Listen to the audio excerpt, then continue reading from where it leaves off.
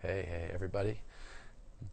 Good afternoon. This is Jamie from the Flow Genome Project. Um, we are basically going to take a look at where does the information come from in altered states of consciousness. Okay, so we just talked about the old school, it was a supernatural thing, but it might just be kind of super hyphen natural. It might just be an, ex- an enhanced state of awareness that we don't normally have access to, and it feels so unusual and so potent that when we get there, um, it's like, oh my gosh, it couldn't be me. Um, it has to be something beyond myself. But level one Level one is just fundamentally, this is kind of like basically rational materialist neuroscience explanation.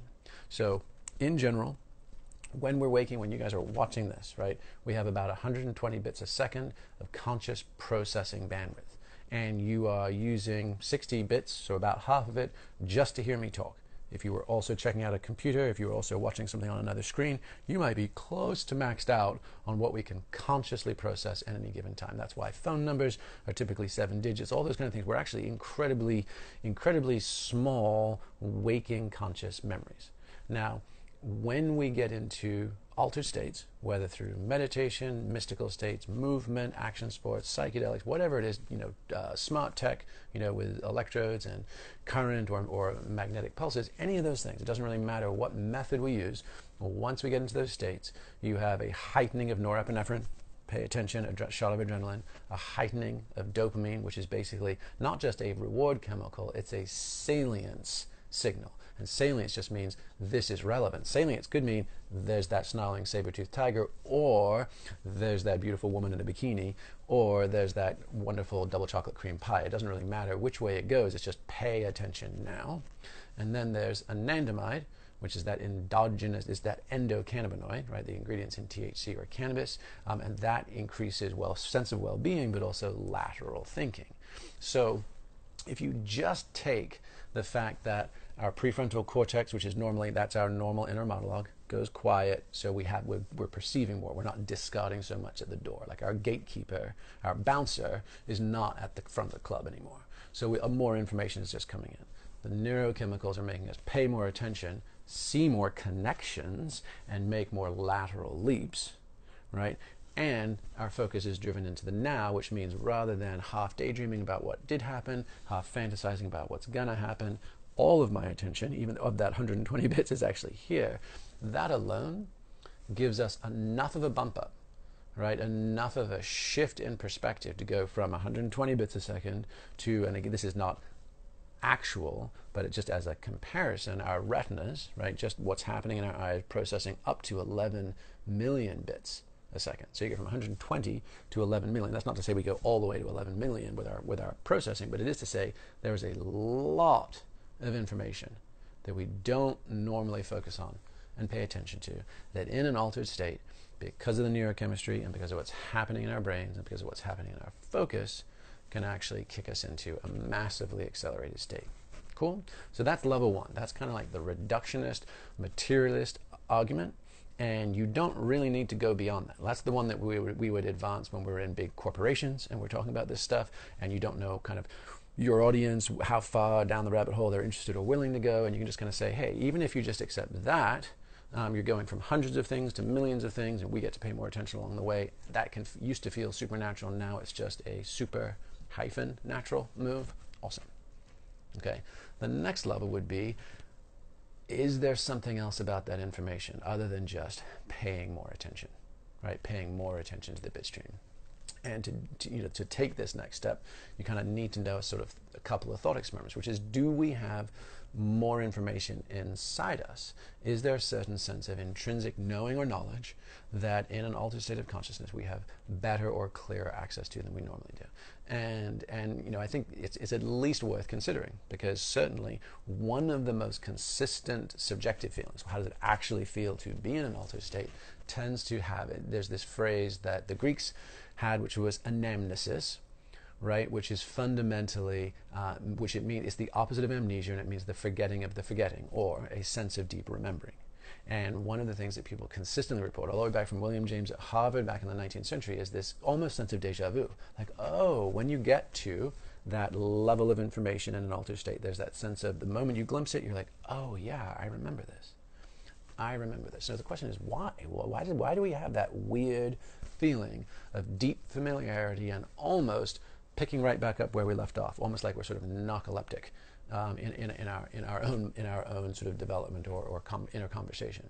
So one thing you could say is take a couple of these studies, right? There's been some really fascinating studies on epigenetics in the last few years, and uh, and I'll share with them share with uh, you a couple of them. One was on rats.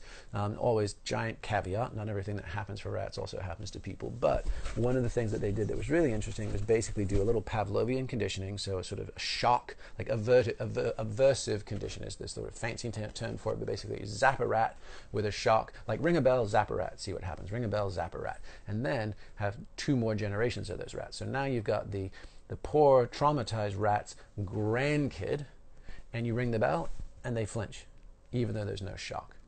And so they relatively convincingly were demonstrating that trauma can be passed down epigenetically, which means here's my genes, my DNA, and then epigenetic is just how are they expressed based on environmental conditions. So because of a traumatic experience two generations upstream, that then baby rat was also traumatized. And some folks have also done comparable studies with post Holocaust Jewish families and have been advancing a similar notion, which is that if a family, or you know, yeah, basically a, a nuclear family or a biological family, has gone through intense trauma, that it can kick downstream and still effectively live in the brains, bodies, and, and genetic expression of descendants.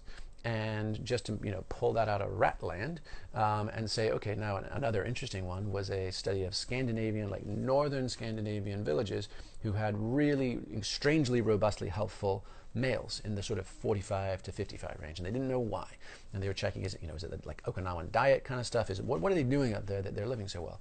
And they finally traced it all back to grandfathers who had experienced periods of famine from a very specific time, from age 12 to 15. So essentially, when their grandfathers were hitting puberty, i.e., you know, creating and formulating all of their sperm and genetic material they were ready to pass on, if they were hungry during a winter for up to like about a three month kind of period, then paradoxically, the opposite of the rats, where the rats' trauma was actually kicked down the road and passed on, instead, famine, if grandpa went hungry as a skinny little kid, the grandsons were super robust with cardiovascular health and actually lived lived to ripe old ages. So even if you just take those two examples, you're like, okay, this is fascinating. The experience of a singular human individual can pass on an actual lived experience, either psychological. I mean, if we you know grant grant the rats you know the, luxury of, of mind, of, of a concept of mind, or physiological in the case of the Scandinavian study. So now you're like, okay, so this is really this is interesting individual experiences can be passed on through multiple generations and they can show up in our bodies and our minds. So then you think, okay, what about all my ancestors? What about the entire evolutionary history of our species or race or whatever bucket you want to kind of just smaller or larger um, lens you want to lay over this? Wouldn't it also be plausible? In fact, you almost think it would have to be that we also do have some encoded ancestral knowledge or information if a single grandpa going hungry for three months can show up in a measurable way. So then you think, okay, so that could be another set of information that's in us that we have access to in an altered state, in a non ordinary state of consciousness. So, not my waking, rational self, but just in sort of a sensing, thinking, perceiving way. Am I able to tap into that in a more interesting manner? And then if you want to take that, you know, so you can, again, you can timestamp that and you say, huh, okay, I'm willing to consider that. That might be, in addition to just perceiving more of what's around me, the kind of bits, the, you know, bit processing of hundreds to millions, you can then say, okay, now is there something in my epigenetic expression in my genetic code? So click on that another level.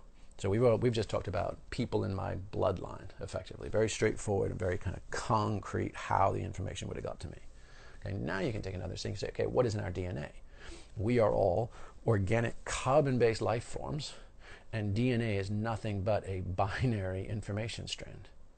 Right? In fact, I think I read last month that they are now able to store something like a million copies of a movie on a single strand of DNA, something absurd that I really can't wrap my head around still. But the idea is not only does DNA do what it's always done, but that now we're learning to tinker with it and engineer it.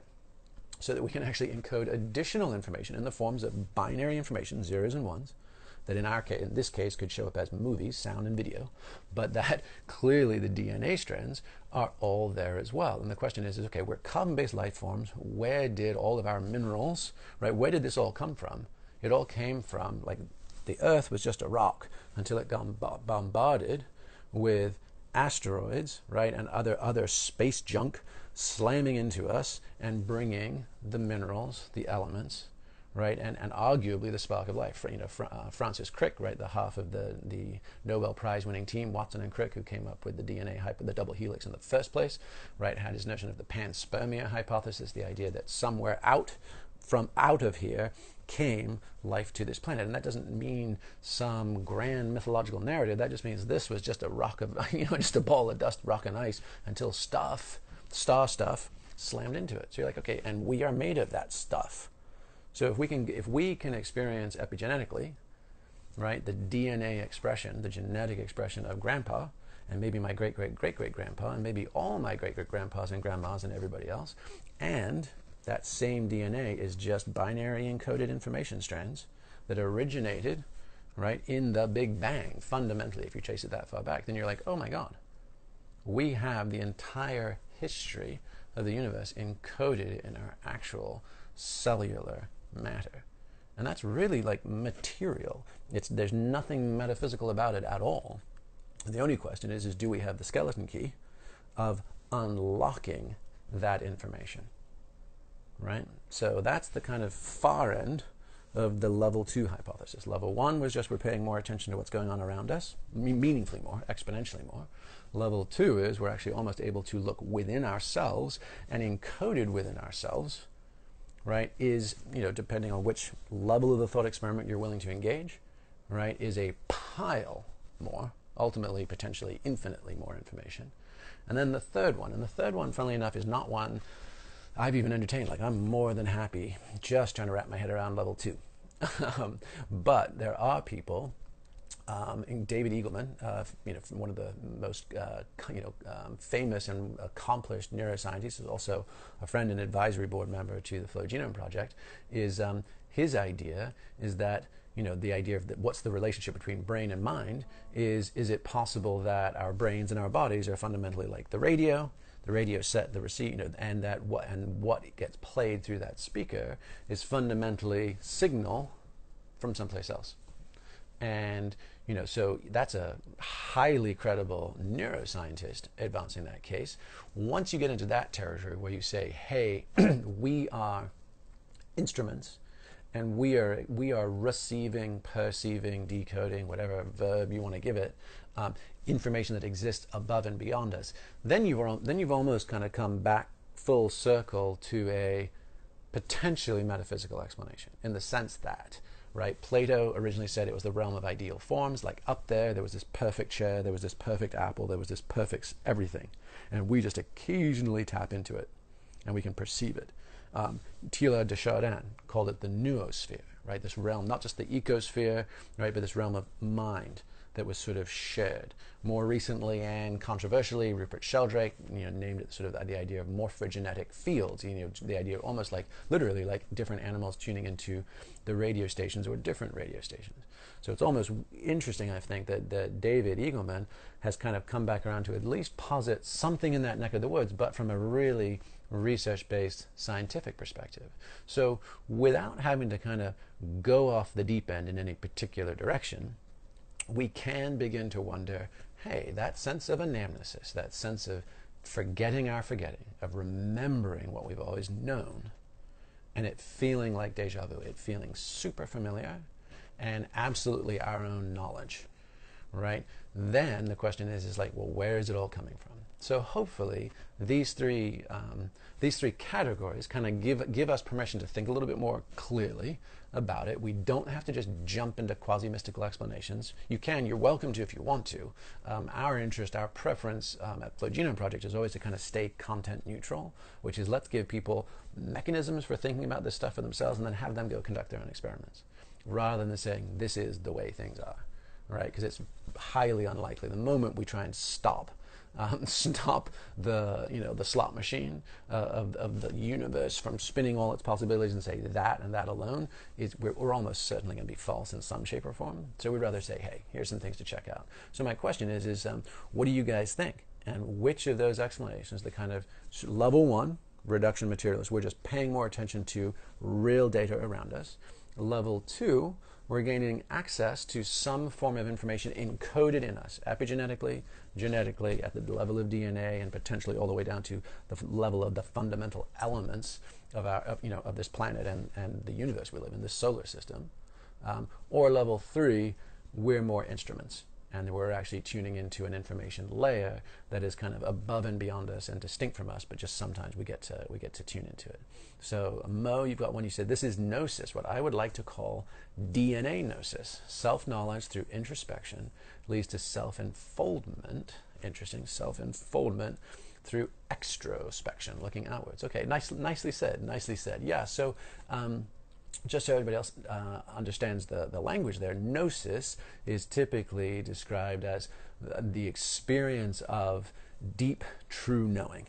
Um, and so the idea of DNA gnosis could be, in fact, yeah, the information's inside us, and when we unlock it, uh, particularly from getting out of our normal waking states, uh, that we can have access to it. Um, so yeah, that's that's a great one. Um, Maria uh, is just asking, what happens when you tap into the realm of mind. Well, I mean, I think this is the beautiful thing, right? Is what happens when any of us tap into the realm of our minds is what is happening in the realm of our minds. And it's unique and different. And um, I think as much as I'd love to start saying, hey, provisionally this is what seems to happen in most instances, etc., I think we just need more people conducting this experiment. And when I say this experiment, what I'm meaning is um, finding skillful means to access peak states um, relatively often, taking level headed notes, not jumping to premature interpretations and explanations, and continuing to kind of cautiously, skeptically, but with open hearts and minds, um, map the terrain we're all finding.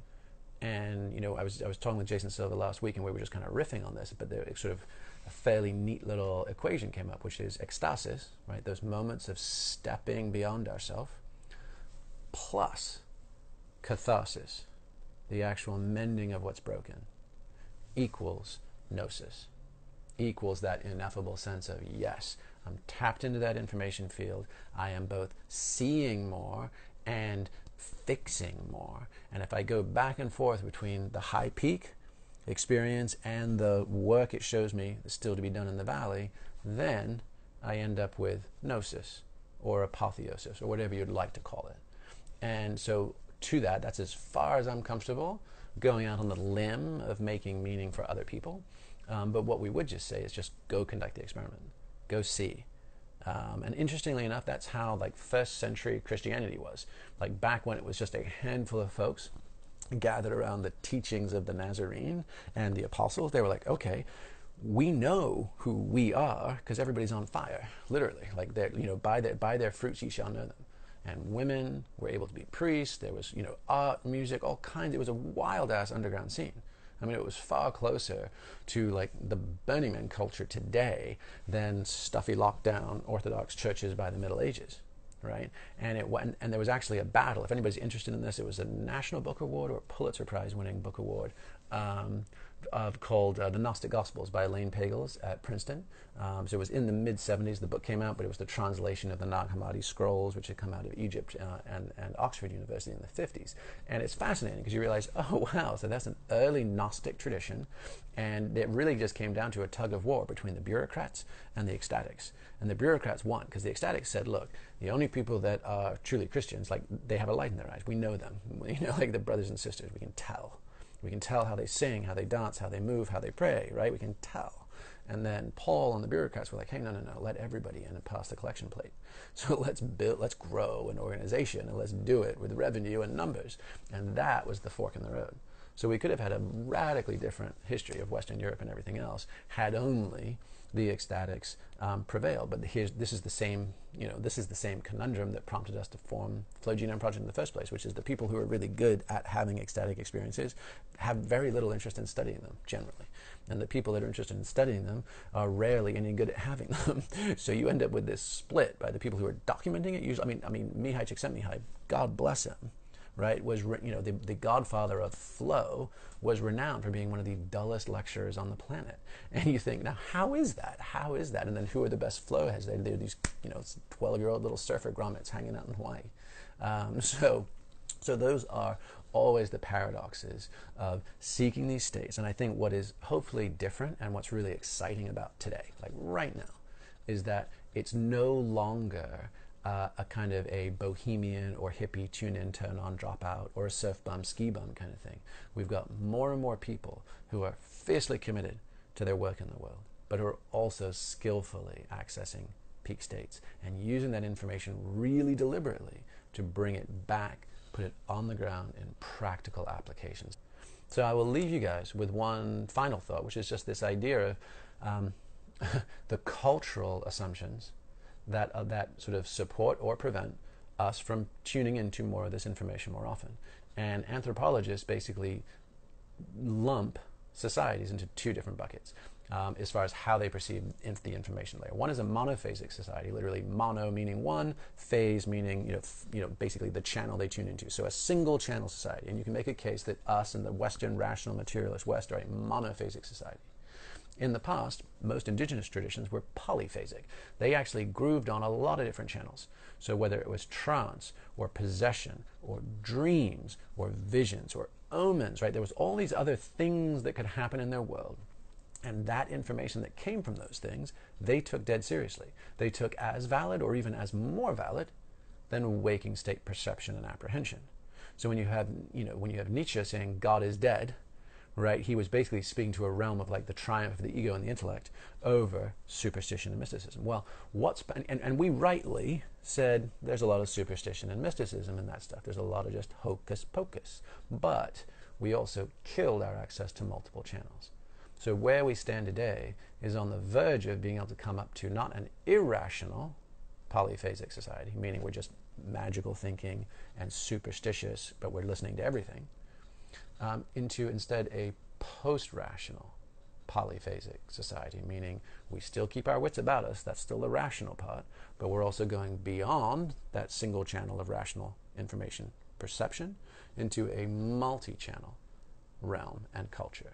So I'll leave you guys with that. The notion there would be um, what is it like to start cultivating for ourselves, then each other, and then broader and broader groups a post rational polyphasic culture that lets us access and act on the information, the inspiration, and if we're really doing our homework, the transformation that results from more data from more places.